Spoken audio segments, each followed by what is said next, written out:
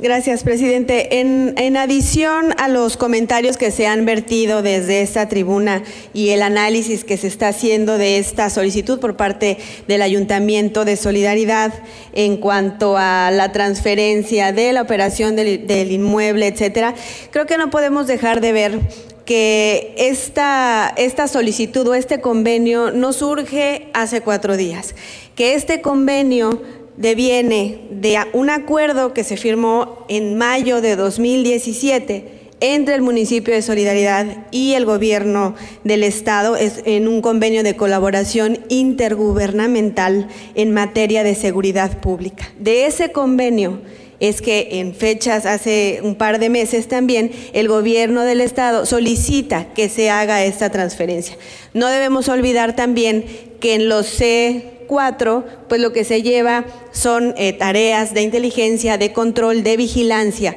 que sirven a los,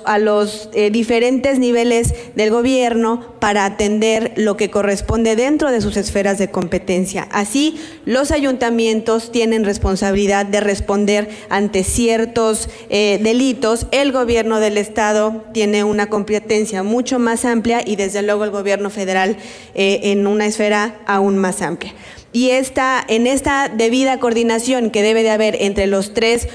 eh, entre los diferentes órdenes de gobierno también están delimitadas las responsabilidades que a cada quien corresponden. Por eso eh, sí coincido en que todo lo que tenga que ver con inteligencia y con control corresponde más como elementos de, para poder brindar la seguridad a los ciudadanos, a los gobiernos estatales y al gobierno federal. Esto no quiere decir que se esté relevando en su función de brindar seguridad pública a los ayuntamientos y quedan intactas las facultades